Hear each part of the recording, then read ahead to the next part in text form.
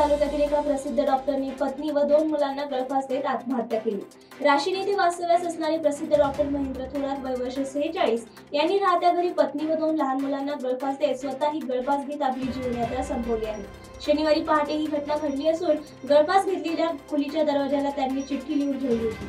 दरम्यान आत्महत्येपूर्वी लिहिलेल्या चिठ्ठीत त्यांनी म्हटले आहे की माझा थोरला मुलगा कृष्णा याला कानाने ऐकण्यास कमी येत असल्याने आम्हाला समाजात अपराध्यासारखे वाटत आहे. अनेक दिवसांपासून आम्ही व्यथित आहोत. कृष्णाचीही कशात मन लागत नाही. हे आम्ही वडील व आई म्हणून दुःख सहन करू शकत नाही. म्हणून मी व माझी पत्नी वर्ष आत्महत्येसाठी कृत्य करत आहोत. हे योग्य नसले तरी नायलाजास्तव हे कृत्य करत आहे. यात कोणालाही जबाबदार धरू नये असे या चिठ्ठीत लिहिले आहे.